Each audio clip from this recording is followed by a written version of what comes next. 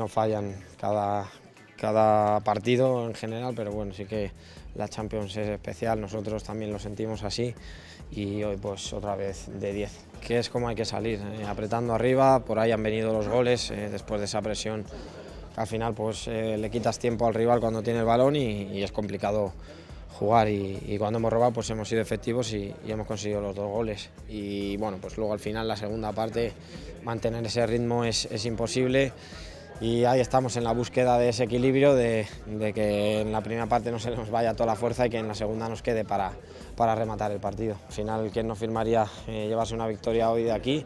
e ir a, Alemania pues, con, con, la victoria de aquí? O sea, yo creo que, hay que mirar ese, ese lado positivo, se han hecho cosas muy bien y, bueno, pues queda la vuelta que obviamente hay que salir a morir.